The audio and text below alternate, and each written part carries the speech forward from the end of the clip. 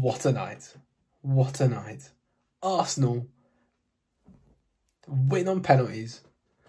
What a game. What a night. What a result. I mean, what? David Raya saves two to prove the doubters wrong. That's a way to get Arsenal fans on on his back, off his back, whatever. And get people on side against Aaron Ramsdale. Through to the quarter finals of the Champions League. Come on. And what more? What a game of football. I mean, on commentary, they claim that Ally McCoist was better. Uh, sorry, the referee was better and a good referee through the game. Gotta say, dispute that completely. Yes, there's one thing letting the game flow, but if every single yellow card foul isn't given as a yellow card, disgraceful refereeing. Gotta be said. For both teams, not just Arsenal. Um, poor decisions against Porto as well. So let's have it clear. But the ref didn't have a clue. Wow. What a 90 minutes of football. The first goal for Arsenal, Trossard scored it. Beautiful death into the right hand corner, pulling it across the goal. Odegaard with the quickest feet. Sublime.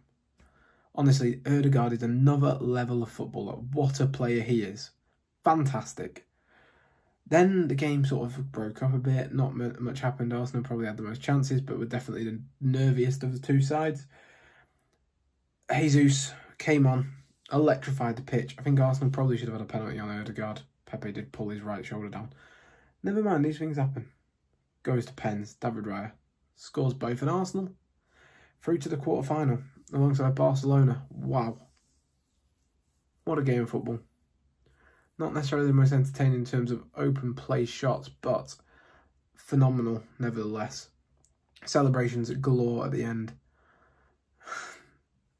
What can I say? I mean, going on player ratings quick. Bukayo Saka was poor throughout the night, horrendous, but great penalty at the end. Declan Rice looked knackered, but we got an international break. Hopefully, these players can recuperate a little bit after playing 120 minutes. Um, I felt like Thomas Partey was needed, but didn't come on. Jorginho had a good game until sort of the last 10 minutes before he got subbed off, but we're through. And that's all that matters. Celebrate how you want, do what you want. Arsenal are in a Champions League quarter final for the first time in 12 years. Wow. Is it 12? 19? Something like? No, 12? I don't know.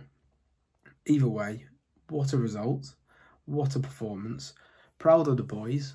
Um, just wanted to give a quick upload to Hunts and Buncs. Please be sure to subscribe for more that's my initial reaction. I mean, Odegaard is just beautiful as a player, isn't he? Technically gifted, technically phenomenal.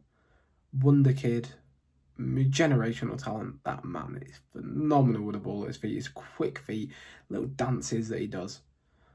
Genuinely amazing. Absolutely sublime. I'd say on the night, even game. Probably should have deserved a draw. So, penalties though. David Raya really, really did make a name for himself two great saves and nearly saved the third. Just wow. I can't wait for the next game. City next in the league. Probably going to lose, but enjoy it while we can.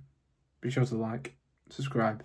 We're going to be doing something a bit new on the channel in the next few weeks, so keep an eye out for that. Cheers, everyone. What a game. What a night.